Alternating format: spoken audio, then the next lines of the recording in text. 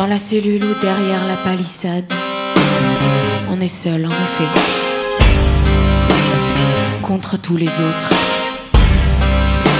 Seul et séparé par un mur de cet immense grouillement d'hommes, dont on a été brutalement retranché, de cette humanité remuante et libre, qui semble vous avoir abandonné, vit sans vous, s'organise sans vous et agit sans vous prenant tout entière figure d'adversaire.